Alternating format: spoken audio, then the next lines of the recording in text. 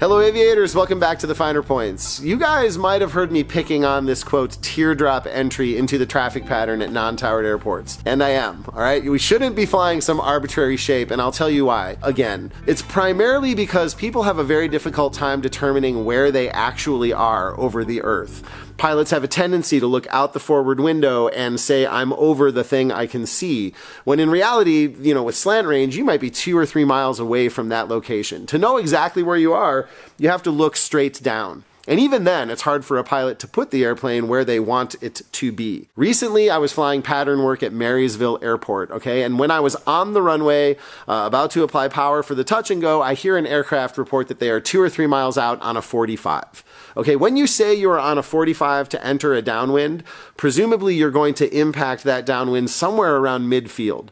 Okay, that's the way it's supposed to work. So the picture I painted in my mind was that this aircraft was going to enter the pattern somewhere around midfield. Let's listen to that call exactly as I heard it. 2173 Zulu is going to be three miles to the southeast, entering on 145 45 for runway 14 Marysville. Okay, so then I continue, and now here I am on the upwind, and I'm waiting to hear that this aircraft has entered the downwind because if they were on a 45 to enter the downwind at midfield, and I turn crosswind when they get there, the spacing should work out just fine. So eventually, I heard that call. Yankee, left that one for 1-4 Marysville. Now imagine how surprised I was to get a traffic alert, and you can even see me here looking out to the left. I'm trying to find that aircraft somewhere on the downwind, but the traffic alert came and the aircraft was at my one o'clock, okay? They were not even yet on the downwind, and there was a collision hazard here, okay? Uh, that looked something like this. Marysville traffic, Skyhawk 172, Foxtrot Kilo, left crosswind 14, Marysville. Okay, we're going to look for that airplane entering the downwind. We're going to keep our turn coming Traffic, around here. 1 o'clock, high, less than 1 mile. Okay, and I'm not going to beat that airplane up. I just use them as an example of how folks don't really know where they are. They reported on the downwind before they were even in the vicinity of the airport. Okay, they were still outside my crosswind turn when they reported on the downwind. So it makes you wonder what was that 45 call, right? Where were they when they said they were on a 45 to enter that downwind? And they're not the only ones, all right? Recently I was at Lincoln Airport and some person, I'm not going to throw out any N numbers, but they said they were going to make that famous teardrop maneuver, whatever that is, right? Some arbitrary shape, some teardrop. There's about three different versions of teardrops out there that people think they are correct in executing. But what actually happens in reality is something more like this. Look at this ground track. Okay, you can see that this pilot did not cross midfield, that this pilot did fly some arbitrary shape called a teardrop, but by the time they rejoined the pattern, they did it right here at the beam position. Okay, this is pretty common. I mean, this goes all the way back. In the year 2000, for example, there was a mid-air collision near Waukegan Airport exactly because the pilot reported that he was over a certain point when in fact he was east of that point and just looking out the forward window. You can see that right here on the transcript.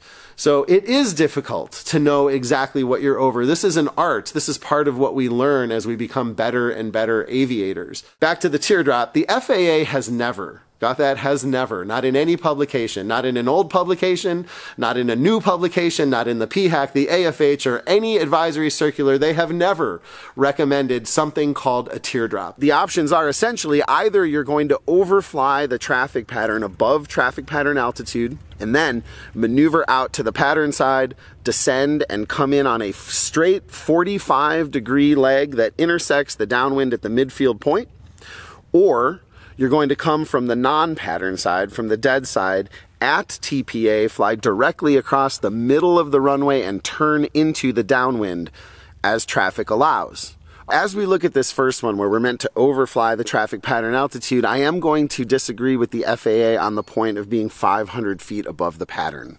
All right. Even in the AC where they lay this out, they say that turbine aircraft and large aircraft are found 500 feet above the pattern. So if we're not if we're trying not to hit other airplanes let's make that a thousand okay? So can we just switch that to a thousand feet above pattern altitude and do what i call a reconnaissance mission? You know look at the wind indicators look at the condition of the runway identify aircraft in the pattern. You can circle up there. You're a thousand feet above the pattern. Uh, identify the emergency landing sites for your inevitable takeoff. All of that is fine. Just when it's time to enter the 45 you basically leave the area turn around and come in on a 45. There is no arbitrary teardrop shape. By far, the most common error is not going far enough away from the pattern when you do this maneuver. Um, I can tell you from teaching for two decades, the thing I always have to tell students is, no, no, keep flying. Nope, you're still too close. Keep going. You have to maneuver away from the traffic pattern.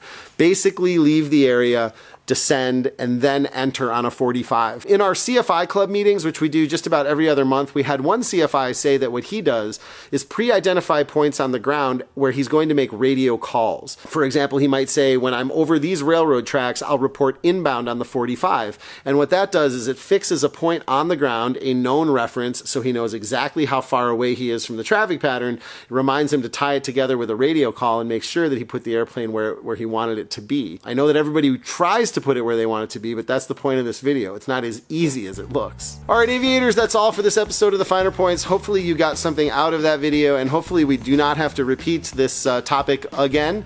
Please leave a comment below if there's something you'd like to say or a video you'd like to see. Remember, we do have a free trial of the Ground School app. We've now got four courses for one price unlimited access. Uh, you can do mock orals with me if you've got a flight review coming up or a check ride coming up.